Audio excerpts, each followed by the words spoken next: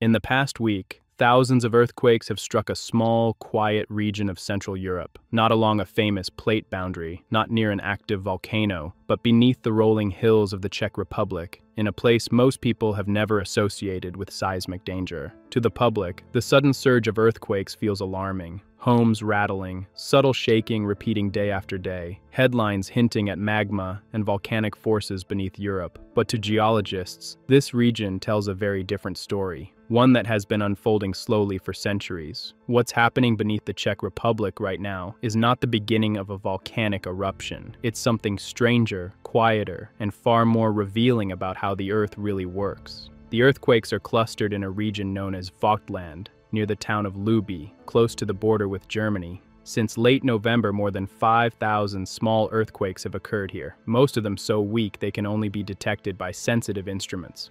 Only a handful were strong enough to be felt at the surface, and even the largest barely reached magnitude 3. Despite the numbers, there's been no damage, no collapsed buildings, no surface rupture, and no sign of magma rising toward the surface. Instead, the source of this swarm lies much deeper and much older. Beneath Vogtland sits an ancient magma intrusion, a body of molten rock that forced its way into the crust roughly 250,000 years ago during the region's last known volcanic activity. That magma never erupted. It stalled deep underground, slowly cooling over hundreds of thousands of years. At depths of more than 12 kilometers, cooling is an incredibly slow process. Even today, that intrusion remains warmer than the surrounding rock. Not molten, not mobile, but still influential. And that influence is key to what's happening now. The earthquakes are not being driven by magma movement, they're being driven by gas. Deep below the crust, carbon dioxide is released from partially molten rock in the upper mantle. This gas rises slowly upward, searching for pathways through fractures and weaknesses in the crust. On its own, that gas doesn't cause earthquakes. But when it encounters an old magma intrusion sitting within a fault zone, everything changes.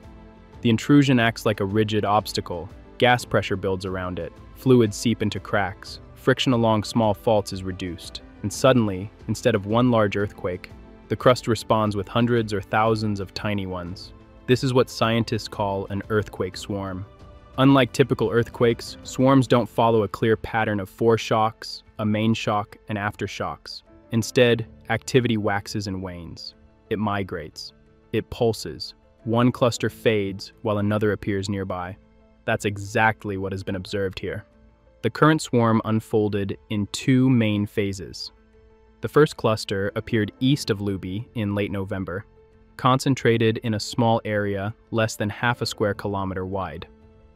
After several days, activity eased, only to reappear a few kilometers away in early December, this time with even more earthquakes, though still extremely small. More than 99% of these quakes have been micro-earthquakes, far below the threshold of damage or danger. Even residents living directly above the swarm may not have felt anything at all. And this is where context matters. Earthquake swarms were first scientifically described in this very region in the 19th century. Vogtland has produced documented swarms for more than 200 years. In just the last few decades alone, similar sequences occurred in 2000, 2008, 2011, 2013, 2014, 2017, 2018, and now again. Some swarms lasted weeks, others persisted for months. A few involved more than 10,000 earthquakes. Most never produced anything larger than magnitude 4. The strongest swarm on record, in 1985, produced a magnitude 5.1 earthquake. Rare, but still far from catastrophic. This history tells scientists something important. The current activity, while intense in number, fits squarely within known behavior for this region.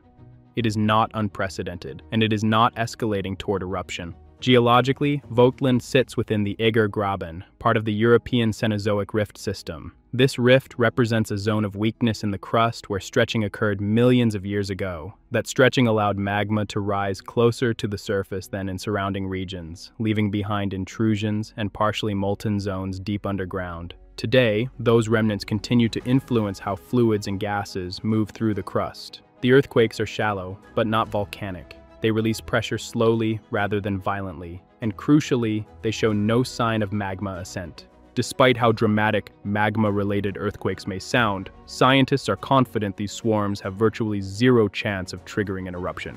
What makes regions like Vogtland especially valuable is not the danger they pose, but the insight they provide.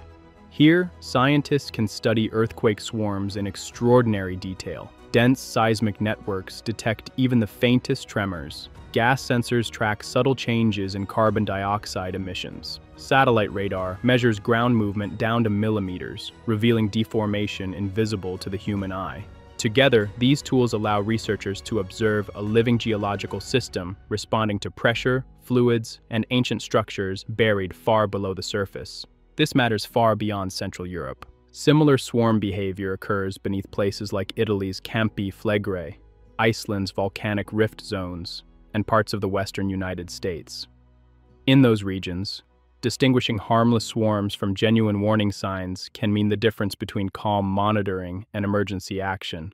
Vogtland acts as a natural laboratory, a place where scientists can test models, refine interpretations, and learn how the crust behaves when fluids, not magma, drive seismicity.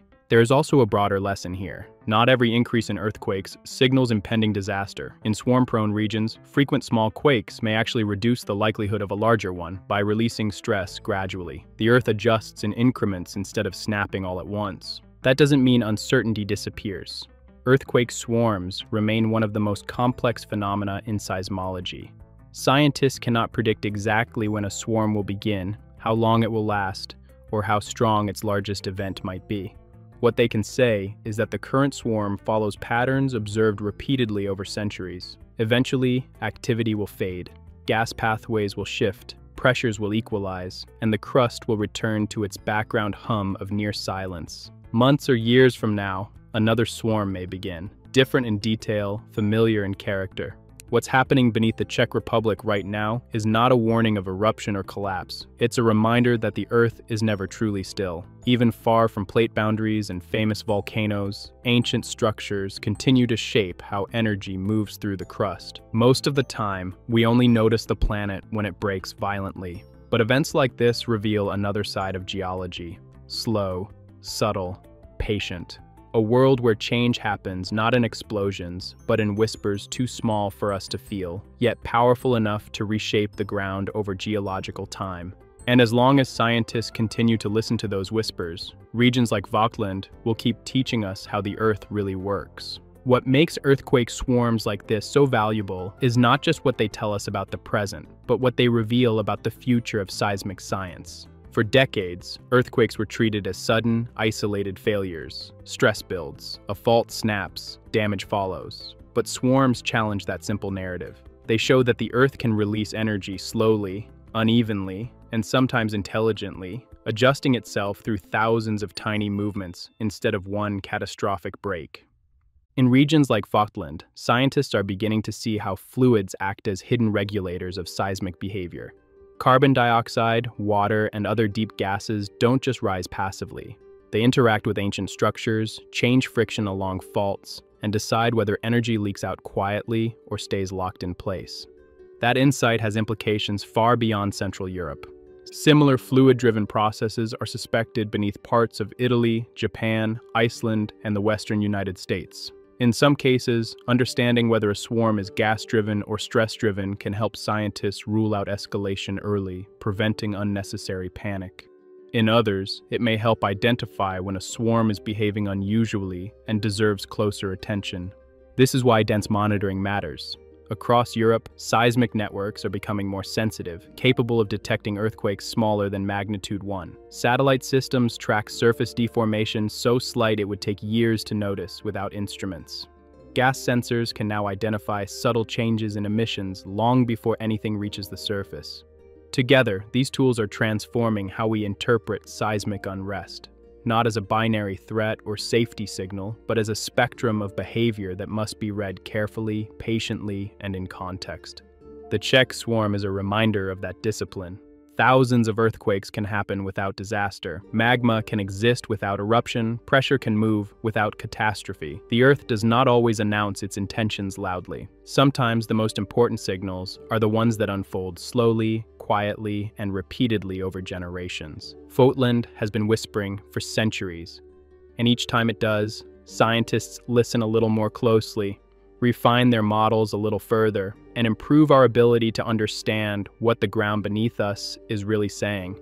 Because the goal of seismology isn't fear, it's clarity. Not every tremor is a warning, not every swarm is a crisis, but every sequence is data, and over time, that data helps us separate true danger from natural background motion in a restless planet. The Earth will keep moving, faults will keep adjusting, gases will keep rising through ancient scars in the crust. And places like this quiet corner of Central Europe will continue to remind us that geology isn't just about disasters.